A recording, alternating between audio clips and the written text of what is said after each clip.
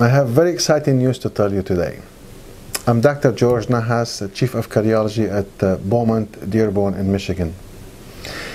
There is a technology called shock wave balloons. It is the same technology as lithotripsy that we use to break stones in the kidneys.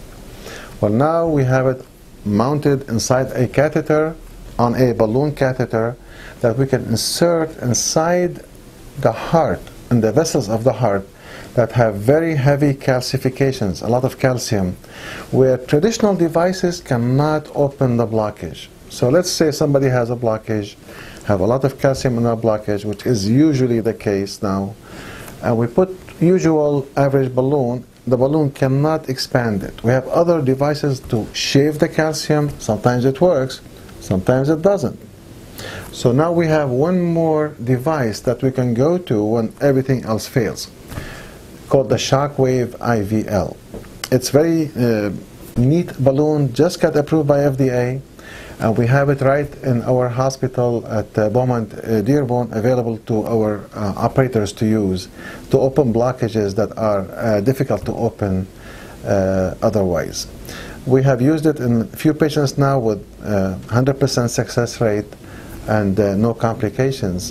And the results are phenomenal where the vessel that we cannot expand, suddenly we apply the wave and it expands. How does it work? Well, it has ultrasound waves that uh, penetrate the calcium and break it like an eggshell.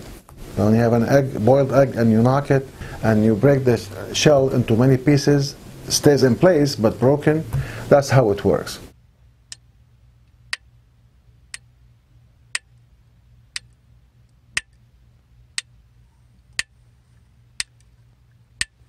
And then when it's broken like that, then we can put other balloons and we can expand it and can put stent and keep it open.